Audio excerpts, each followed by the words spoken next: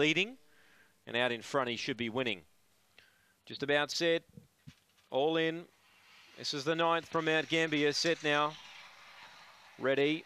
Favourite Uptown Man racing began fairly. He's going to get crowded here. There's speed out wide. Gemma Eagle and trying to boot up Stout and Story and kept it wide. Running up Bull Battle Born ran to second. Gemma Eagle third. Where are these favourites? Fourth Uptown Man a mile back. Then Azumi Shadow.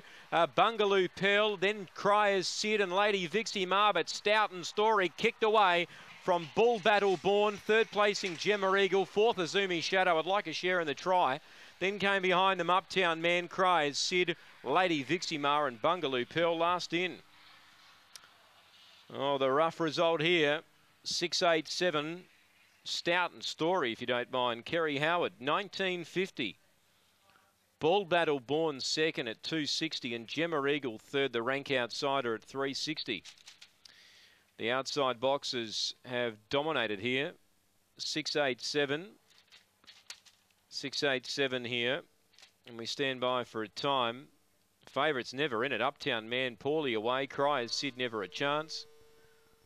And if you follow the outside boxes and you've boxed them up, you'll do okay here. 687. They'll be the placings. 23.41 the overall time. 23.41.